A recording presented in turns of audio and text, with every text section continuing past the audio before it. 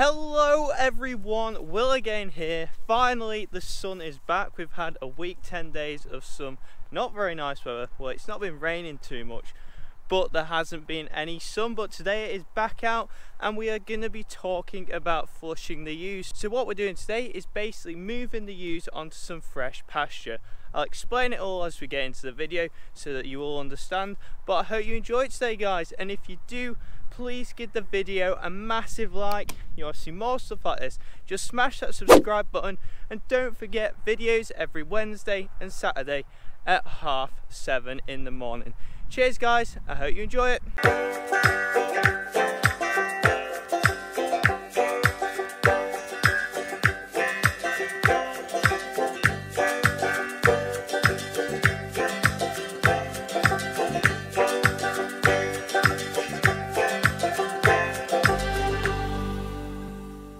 Right guys, so we are back. It is the day after because we had a major mess up with the camera. But we're going to get into it and talk a bit more about flushing, why we do it and how we do it. So basically guys, what flushing is, is basically trying to get the ewe to have more lambs. By doing this, what we do, we put the ewes onto some poorer pasture and then 17 days later we put them onto some really nice pasture so what this does is basically increase the nutritional plane of the ewe so simply basically you get some nicer food and it tricks its body in thinking that it should have more lambs. So we have now moved into the field where the ewes were previously and this is where they've been grazing for a few months. So we've kept them a bit tight, um, a bit less food so that their condition score drops condition score basically means how fit they are and how fat they are. So we don't want them too fit going into tupping, else they get like obese and then they have lambing problems. But also, if you increase the nutritional plane and increase the body condition score as you go up to tupping, it means they have more lambs. But just yeah, go around here. This is the grass they're in. So um, some dead stuff in here. It's not the best grazing. It has grown a little bit because obviously they haven't been grazing it for the last few um, days but they go from this onto really nice pasture which I'm going to show you guys in a little bit. But this is such an important uh, management thing that you do with sheep, enabling you to get more lambs. So for example, if you don't flush ewes, um, they will have less lambs. So what this does, it basically turns the ewes that would have one or two lambs into ewes that would have two or three. So this means that your lambing percentage jumps from like 150 to 180, 200%. So what it means is basically 100 is one lamb, 200 is two lambs, so percentage wise it means over the whole flock that's how many lambs you'll have. So 100 ewes, 150% is 150 lambs, just to keep it simple. So it's so important as a business to have more lambs. Um, it doesn't cost you anything more, it's just management practice and a lot of sheep farmers actually do this. So basically one of the things to do every year. So we also give them mineral buckets to ensure that they have the right mineral balance in their diet, as well as the really nice grass to ensure as they go to breeding, they have the best chance of developing those lambs. So basically they might have the lambs too, so they might get in lamb to free lambs, but if the nutritional intake isn't good enough, they'll actually absorb the eggs, so the um, fertilized eggs, and they won't have those lambs. So guys, I hope I haven't gone into that too complicated, but that's basically what we do.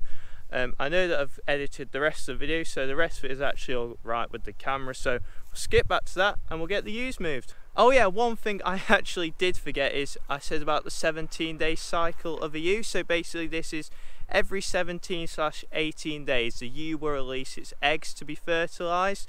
So what we basically do is try and time this in with lambing and tupping. So what you want to do is try and lamb over a 17 day period and you try and work in those kind of periods when you're doing stuff. So the cycle before they go into the tup, they're going onto that really nice grass so that they release as many eggs as possible as they're being flushed and the tups go in, impregnate them and that kind of does the trick with flushing. I hope that was quite understandable. We'll now get the ewes moved again.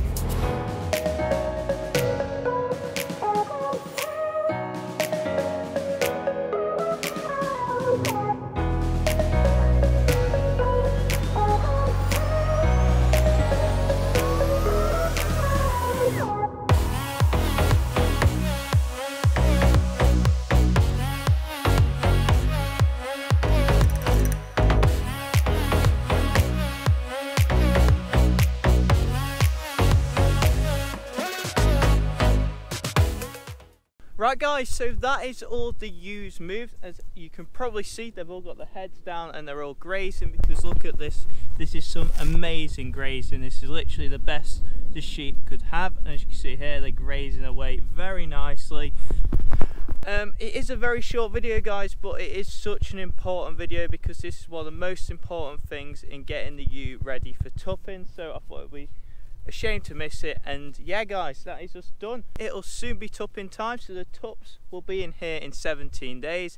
The teaser tup will be in here in three or four days so basically the vasectomized tup will come into here so that's what brings them onto heat even better. So there's loads of tricks of trade to get these in lamb um, in the first cycle. I'll talk all about that in the next video guys because um, the teasers will be going in very soon.